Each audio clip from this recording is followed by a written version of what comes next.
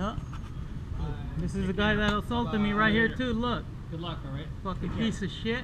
See you later.